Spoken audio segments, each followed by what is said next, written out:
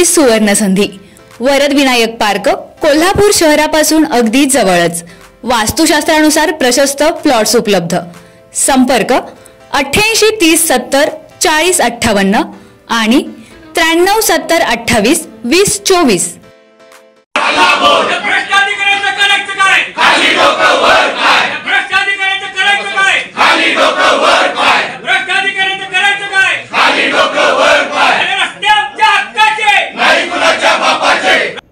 गेल्या दोन वर्षांपासून कोल्हापूरची जनता रस्त्यांच्या खड्ड्यांमुळे त्रस्त आहे.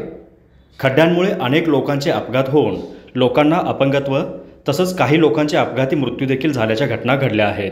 तरी देखील महानगरपालिका जनतेला वेटीस धरून कोणत्या तरी प्रतिनिधीच्या टक्केवारीचे टोकन गेल्याशिवाय नगरपालिकेचे अधिकारी प्रस्तावावर सही करत नाहीत असा आरोप करत उद्धव ठाकरे शिवसेनेच्या वतीने आज महापालिकेवर हल्लाबोल केला. तसेच लोकप्रतिनिधी ठेकेदार व महापालिकेचे अधिकारी यांच्या संगणमताने कोल्हापूरच्या जनतेच्या डोळ्यामध्ये धूळ फेकण्याचं काम सुरू असल्याचा आरोप ठाकरे गटाच्या वतीने करण्यात आला आहे तर शिवसेनेच्या कार्यकर्त्यांनी अधिकाऱ्यांसमोरच घोषणाबाजी करत त्यांना धारेवर धरलं. ठेकेदार वेळेवर काम पूर्ण करत नाहीत किंवा जे कामात दिरंगाई व निकृष्ट दर्जाचे काम करतात त्यांना ब्लॅकलिस्ट करण्याची मागणी यावेळी करण्यात आली. आज आमचं एक मत आहे. आता तुम्ही पहिला ब्लॅकलिस्टचा निर्णय घ्या. मला नोटीस नको. आम्हाला नोटीस ताबडतोब जाहीर करा, जाहीर करा. आणि साहेब साहेब ह्या माणसाला ह्या माणसाला आज संध्याकाळी तीन तासामध्ये सगळ्या कॉन्ट्रॅक्टर्सने फोन करून पैसे गोळा करायचं काम धंदा बंद करा सगळा. झाली पाहिजे झाली साहेब, पाहिजे. ब्लॅकलिस्ट झाली पाहिजे. तुमचा अधिकार आहे. ह्या नगर अभियंत्यांना तुम्ही फक्त टेंडर प्रक्रियाची नोटीस निघेपर्यंत त्याला टर्मिनेट करा आणि मग करा. काम चालू होतं त्याने बघा. मूळमध्ये बसला माणूस साहेब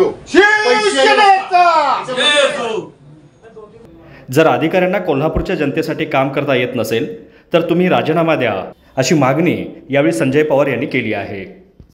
खरं तर आज कोल्हापूर महानगरपालिका प्रशासनावर शिवसेना उद्धव बाळासाहेब ठाकरे या शिवसैनिकांनी हल्लाबोल आंदोलन केलं होतं.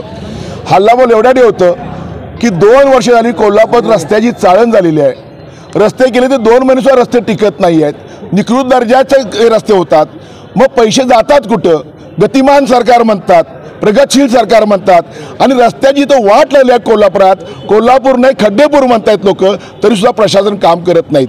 आम्ही अनेक वेळा निवेदन दिली विनंती केली तर तरी पण ही गेंडाई कातडीची लोक काही करत नव्हती मग आम्ही हल्लाबोल केला. आणि खरं कारण असं आहे की कुठंतरी टोकन दिल्याशिवाय अनेक प्रस्ताव मंजूर आहेत पैसे तयार आहेत. एका ठिकाणी टोकन द्यायचं दुसऱ्या ठिकाणी टोकन द्यायचं आणि इशारा आल्यानंतर प्रस्ताव सही करायची. पण नागरिकांचा कोण विचार करणार?